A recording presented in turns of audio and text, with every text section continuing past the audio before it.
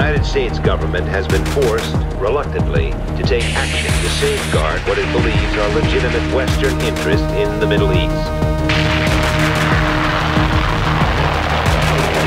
We are confident that the Soviet Union will take note of our resolve and will desist from its present perilous course of action.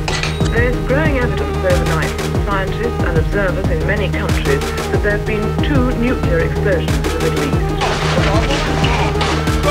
In response to today's news of the outbreak of hostilities between vessels of the United States and Soviet navies, The Ministry of Defence has announced it's sending more troops to Europe to reinforce the British commitment to NATO.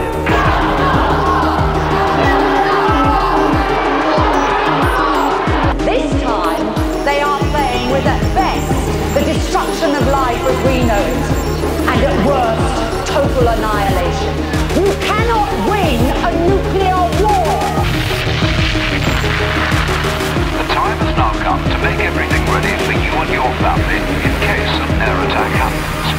When you hear the attack warning, you and your family must take cover at once.